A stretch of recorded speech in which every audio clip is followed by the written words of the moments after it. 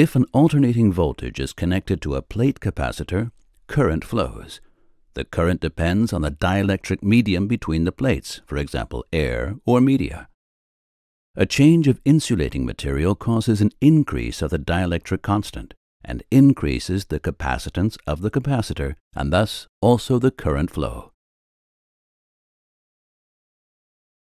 In addition, the current flow may be affected by the distance and size of the plates. These characteristics of a capacitor constitute the basis of the measuring principle of capacitive level measurement. The electrically conductive tank wall and a probe inside of the tank form a capacitor, the capacity changes of which are used to determine the level.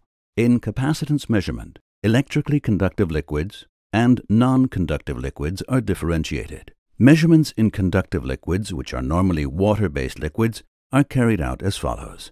The medium forms an electric short circuit from the tank wall to the probe insulation.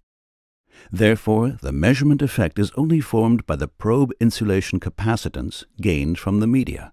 This provides stable measurement which is independent of the tank geometry and the dielectric constant of the medium. If the level rises in the tank, the area of the capacitor increases proportionally.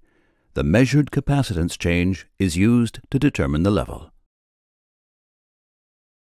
The capacitance change in non-conductive liquids, which are normally oils and solvents, is caused by higher dielectric constants of the medium in relation to air. The non-conductive medium forms an additional capacitor to the tank wall connected in series. It determines the total capacitance. If the level rises in the tank, the area of the capacitor increases proportionally.